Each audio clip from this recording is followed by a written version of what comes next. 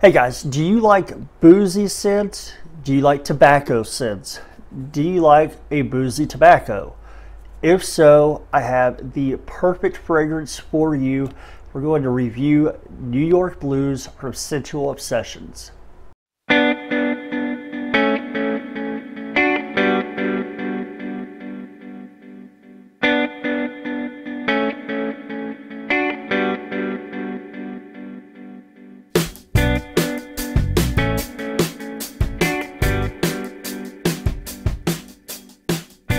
Before we begin, I want to remind you guys while you're here, go ahead and hit the subscribe button. Helps out the channel. Ring the bell for notifications so you get notified when I have a new video coming up. And if you see anything in the video that you like, please give it a like. Okay, let's get into the review. Again, I am reviewing New York Blues from Scentual Obsessions. Now, Scentual Obsessions is going to be a clone house from the United States located in Florida. They do ship internationally. This was something I didn't mention in my previous review, but yes, they will ship to you anywhere in the world. So um, don't think that if you're across the pond or something like that, you can't get your hands on this stuff. You absolutely can. All right. They also, I believe, have some inspired by fragrances as well. So they're not natural clones. They may be like a mix of something or and something else. But anyway, they make really good stuff. And today we're talking New York Blues. Now, I do want to start off by letting you guys know they do use a 33% oil concentration. This is a heavy oil concentration. Most places, like in the designer world, when you're talking like a designer EDP, they're using 15, maybe 18% uh, oil, sometimes 20, but Scentual Obsessions uses 33%. So more of the good stuff, less of the alcohol, which burns off faster. Okay, so I got a decant sent to me from Scentual Obsessions. They're nice glass decants with nice atomizers. It even has the the date that it was made on there. Kind of hard to see in the camera. Uh, really nice attention to detail on the atomizers. I did do a first impressions of all the decants. I will put the card to that somewhere up here, wherever it pops up. And let's go ahead and talk New York Blues. Okay, New York Blues is going to be a clone of Maison Margiela's Jazz Club. If you've smelled Jazz Club, which I have not, you'll probably like this. Now, what they do over at Scentual Obsessions is they don't um, they do use the same ingredients, the same notes in their clones, but they will tweak the amount. So you might have a little bit more rum, you might have a little bit more vanilla, a little bit less of this, more of that, and it kind of makes a little bit more of a unique scent. So it's not just like 100% spot on. It has a little more, it's like a clone with originality, and that makes sense. I really dig it. Probably one of my favorite clone houses right now. Okay, so let's go over this. Maison Margiela's Jazz Club, you're going to pay anywhere in the ballpark of like 100 to $150, I believe, for a bottle of that. Whereas uh, you can get a 30 mil from Scentual Obsessions for, I believe, $35 and a 50 mil for 55 So you do the math, you're saving a ton of money and you're getting a high oil concentration in this. All right, let's go over the note breakdown of New York Blues. New York Blues is going to consist of top notes of pink pepper, neroli, and lemon. Your heart is going to have rum, clary sage, and vetiver, and your base will have tobacco leaf, vanilla bean, and styrax. Now, this one is actually has a couple of my very favorite things in it. It has booze, it has rum, booze, and it has tobacco, which I am like a like I am a fiend for tobacco notes. I don't know what it is. I just love the scent. This it is an amazing scent. I when I first did my initial impressions, this was one that really stuck out to me. It was one of my favorites, but I kind of put it off wearing it because it's like I'll let the anticipation build, if that makes sense. This one, little puff of the air, really good atomizer on these decants. Smells heavenly, heavenly, heavenly. This is, um, like I said, this is a combination of some of my favorites uh, with the booze and the tobacco. On the top, I don't pick up a whole lot of lemon. I'm guessing that's pretty dialed down. I do hit that neroli and a little bit of the pepper. Not a whole lot of pink pepper, just, you know, a little bit. It's not real heavy, but even on the opening, I pick up the heart, and the main player in that heart that I'm picking up is the rum.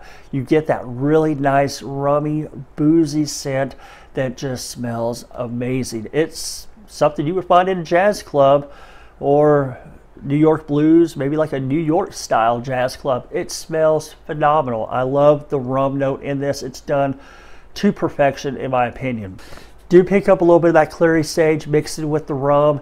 And of course, during your dry down is where I think I like it the most because you don't lose the rum. The rum stays there, but the tobacco leaf comes out. So you have a mix of tobacco and a mix of rum. It smells like you are literally in some sort of like old school, old style jazz club. It smells phenomenal. It's very, very nice.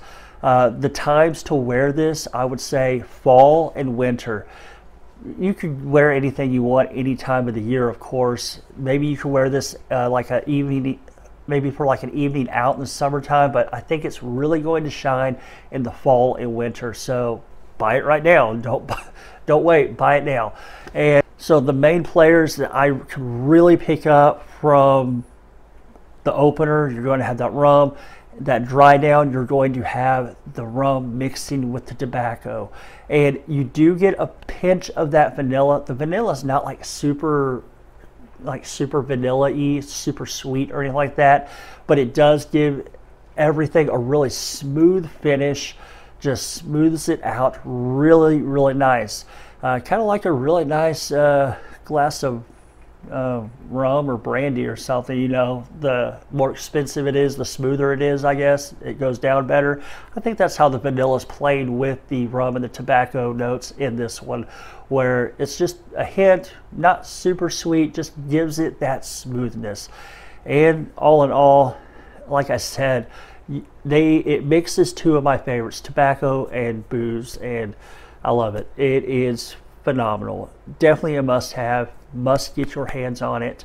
Uh, and for the price, I mean, you can't beat the price. Now, I'm going to do my rating system on this one.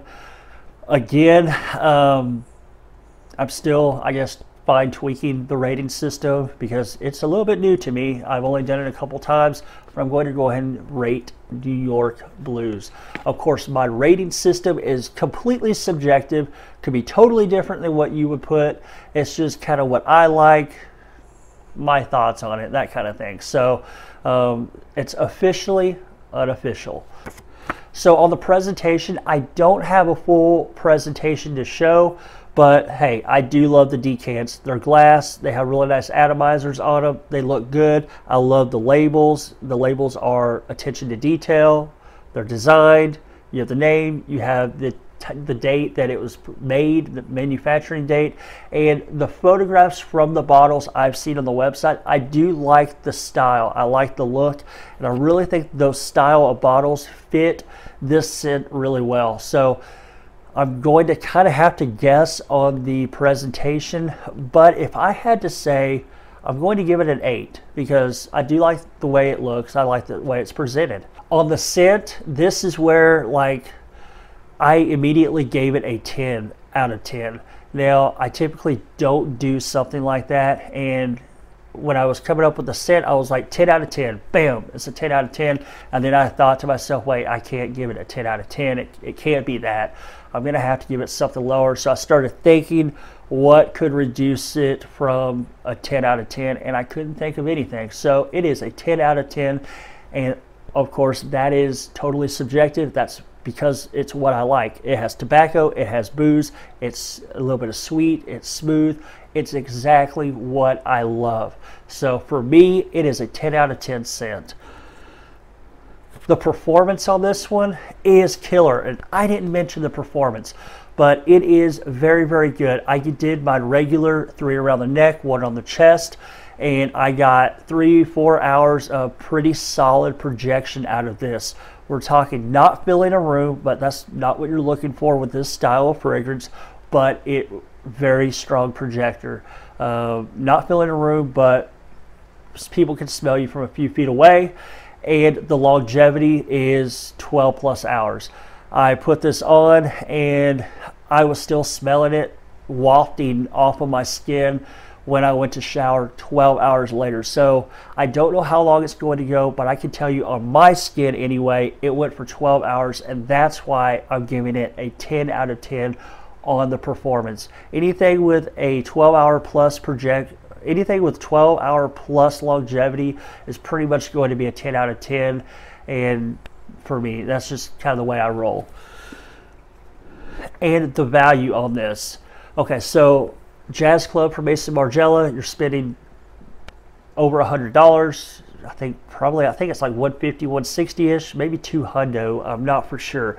Uh, this you can get a 30 mil for uh, 35. You get a 50 mil for 55, and with that killer performance, you don't have to spray a lot, so the bottle's going to last a while, and you're getting a 10 out of 10 scent with 10 out of 10 performance. So I had to give it a 10 out of 10 on the value. Um, this is the highest I've rated anything in my like four times I rated stuff, but that's where it's at right now for me. So that's going to give it a total total score of 9.5.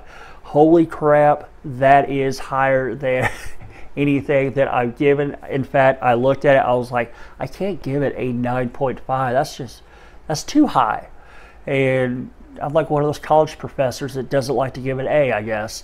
But uh, yeah, I, I kept looking at my numbers. I kept thinking about it, and yeah, I have to stick with 9.5. It is that good for me. It's my style. It's boozy. It's tobacco. It lasts forever, and yeah, I'm going to go with a 9.5 for the overall. So definitely a fantastic fragrance from Scentual Obsessions. Again, they do ship around the world. And now is the time to get your hands on it because it's fall and this is going to be perfect for the fall and the winter season. Okay guys, I appreciate you watching this review. If you saw anything you liked, please give it a thumbs up. Give me a like, help my video out, and help the channel out by subscribing and ringing the bell for notifications. And I will catch you guys with the next fragrance review. Thanks for watching.